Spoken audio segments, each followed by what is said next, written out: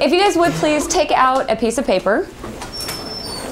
All you need is a piece of paper and a pen or a pencil. All right, as you know, we just finished up a whole unit on the age of absolutism, absolute government. You wrote a short story, what it would be like if you had absolute power.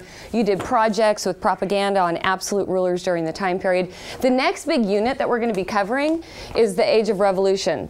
The revolution, most specifically the French Revolution. So there's this time in between here with the question mark that how did we get from age of absolutism, absolute power, monarchs being in total and complete control, to where the citizens revolt. So, how did that logically connect? So, I want to ask you this, and I want you to write this down very quickly. Why do you think that revolution is the next big unit of study?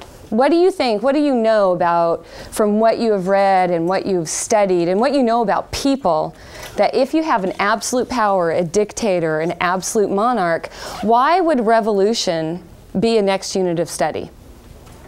So just take a minute and think about that and jot that down on your paper.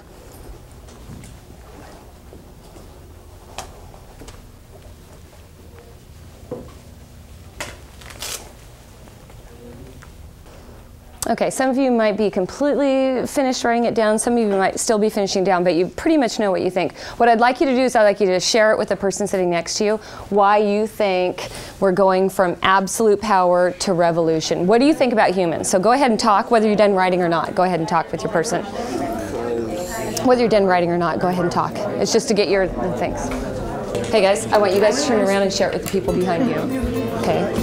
Okay, you two do